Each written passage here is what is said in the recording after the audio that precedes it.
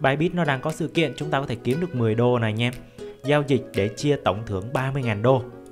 Sự kiện này thì bắt đầu từ 21 giờ ngày 7 tháng 12 cho tới 21 giờ ngày 21 tháng 12 2022 theo giờ Việt Nam nhé.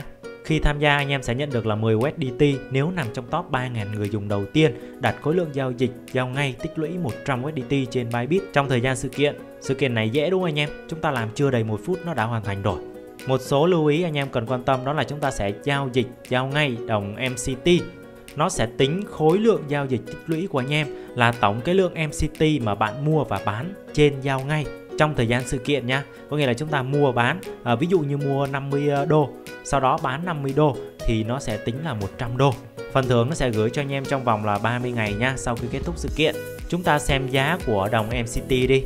Ở đây chúng ta sẽ giao dịch với cặp lệnh là MCT và USDT ở đây thì mình sẽ hướng dẫn anh em xem cái sổ lệnh nhé người ta đặt bán thì nó là màu đỏ còn người ta đặt mua nó là màu xanh. Hai cái dòng mà mình thường quan tâm đó, đó là cái dòng thấp nhất ở bên đỏ là cái giá thấp nhất của người khác đang bán đó anh em. Còn cái giá cao nhất ở bên màu xanh á, là giá cao nhất của người đang mua. Người ta đặt mua thì nó sẽ nằm ở bên màu xanh nhá.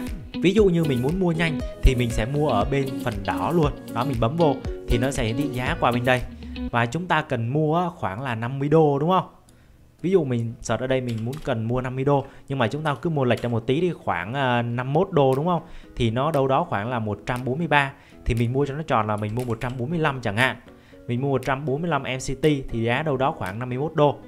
Sau đó mình mua xong rồi, đúng không? Mình phải đợi khớp lệnh. Nó khớp rồi thì mình qua mình bán luôn. Đúng không nào? Mình bán luôn thì nó cũng đâu đó chênh lệch đâu có nhiều giá rồi anh em. Bây giờ giao dịch ở trên Bybit đó chúng ta sẽ không bị tính phí thế nên cứ giao dịch thoải mái thôi anh em. À, nếu như bị uh, mất một chút phí á, đó là nó do chênh lệch giá của thị trường. Ví dụ như lúc anh em mua giá của nó là 10 nhưng lúc anh em bán giá của nó chỉ còn là 9 thôi. Hoặc ngược lại lúc anh em mua giá là 10 nhưng lúc chúng ta bán giá nó lên 11 thì chúng ta lời một chút đúng nào? Giá của các đồng coi thì nó sẽ không nằm ấn định một chỗ đâu mà nó sẽ thay đổi theo thời gian khoảng vài giây sau là anh em đã nhìn thấy cái giá của nó nó khác rồi.